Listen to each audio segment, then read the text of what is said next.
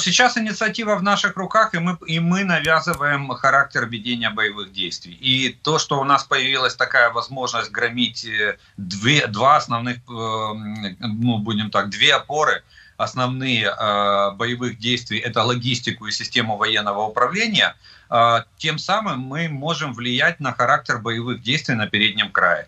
И в ближайшие дни он начнет меняться в сторону уменьшения огневого воздействия на наши позиции. То есть будет потихоньку наступать боеприпасный голод.